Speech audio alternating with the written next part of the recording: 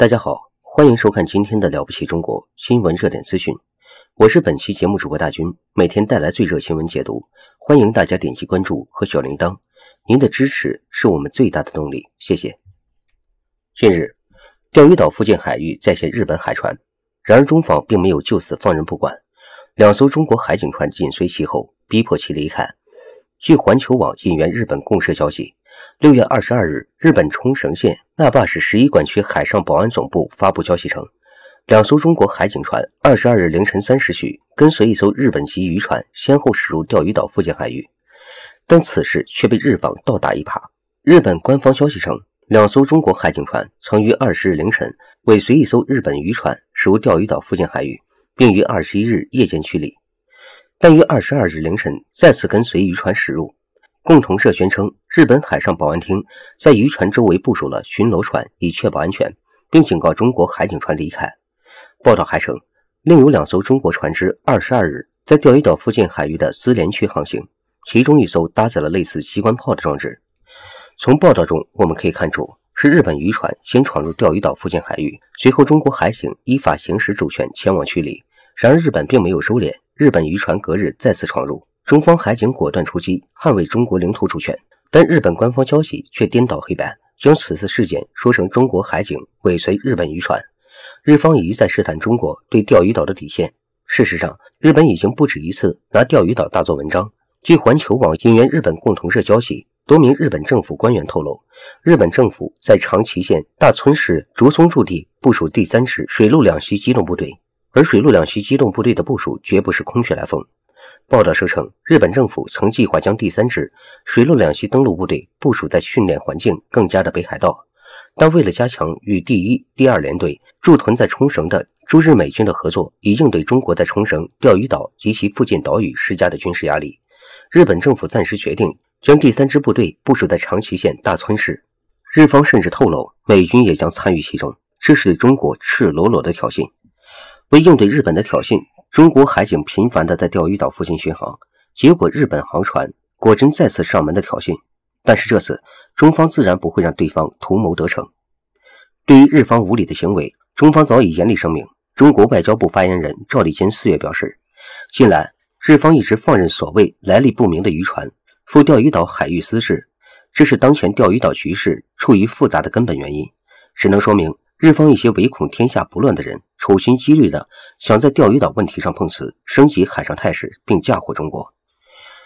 对于中国海警的行动，赵立坚强调，钓鱼岛及其附近岛屿是中国固有领土，中方维护领土主权的意志和决心坚定不移，将坚决应对日方侵犯中国主权的不法行为。我们再次严肃敦促日方恪守中日四点原则共识，切实加强内部管束，防止局势恶化升级。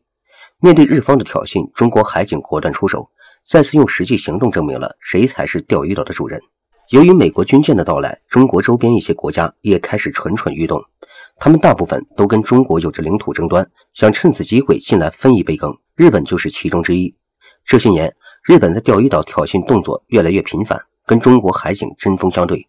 但是钓鱼岛又岂能容这些跳梁小丑撒野？中国海警一直在钓鱼岛附近巡逻。及时对非法闯入的日本渔船进行驱逐，捍卫了中国的领土主权完整。在中国海警的常态巡逻下，日本渔船已经没有了以前的嚣张气焰。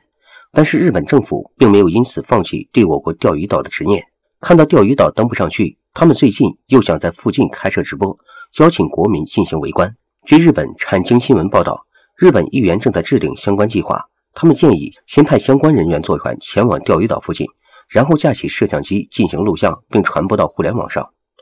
不得不说，日本议员开的不得不说，日本议员开脑洞够大的，并且似乎忘了钓鱼岛是中国自古以来的固有领土，把钓鱼岛当成了他们自己的东西。先不说日本政府是否会同意这个计划，想在中国海警眼皮底下架摄像机，还要进行实时直播，这明显是不把我们放在眼里。要知道，中国海警可不是吃素的。日本议员又怎么保证到时候国民看到的直播画面不是日本渔船被击沉？按照这群议员的设想，如果要对钓鱼岛进行直播，每月需要花费数千万日元。他们准备让日本民间募捐这笔资金，显然这就更加天方夜谭了。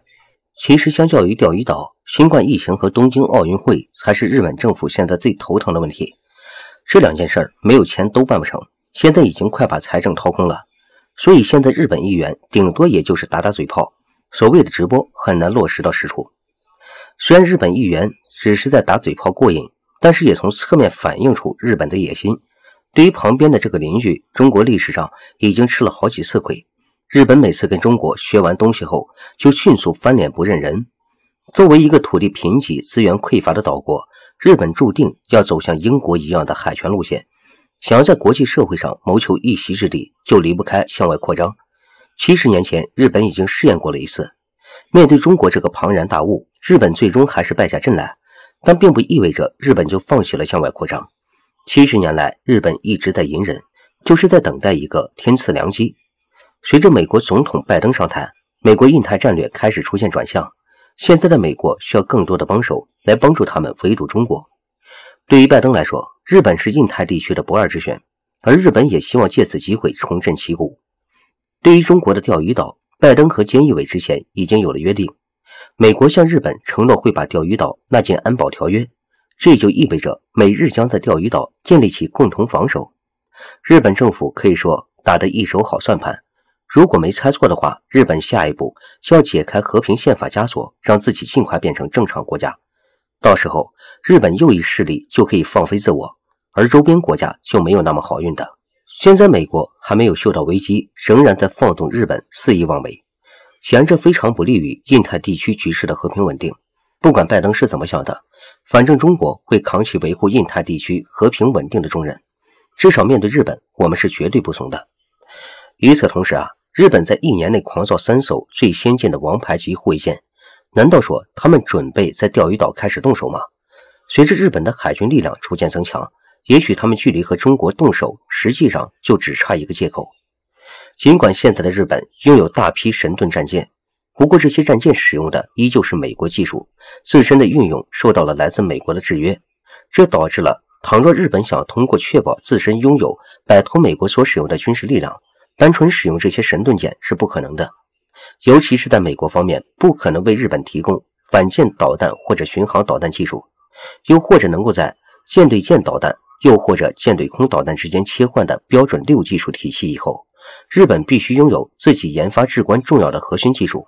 只有这样才能确保在未来选择改写和平宪法，又或者试图摆脱美国控制的时候，发挥出足够的实力。因此。日本海军实际上表现的最为活跃的，并不是那些拥有神盾系统的大型战舰，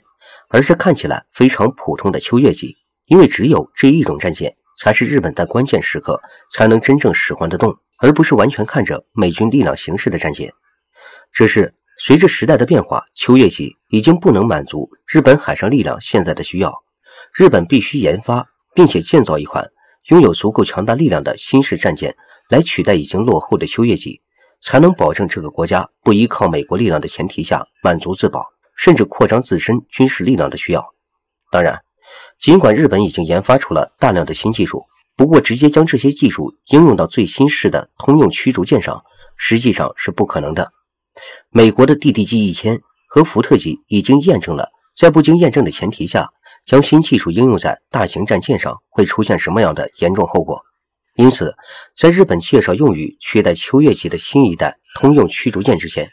一批为新技术进行铺垫的小白鼠实际上是有必要的。所以，三十 FM 并不算是什么黄牌战舰，而是日本新一代海军力量开发的原型和试验品。倘若三十 FFM 护卫舰在未来发挥出了他们自己应用的作用，那么日本就会在这款护卫舰的基础上进行扩大和升级。并借此开发出属于他们的新一代通用驱逐舰，哪怕三十 FFM 系列身上存在诸多缺陷，导致这款驱逐舰的能力并未达到日本的预期。护卫舰较低的研发和建造成本，也能让日本通过少量的多批次的快速建造，提升本国造船工业力量的技术水平。因此，日本才会以如此惊人的速度，大批量的建造这款护卫舰。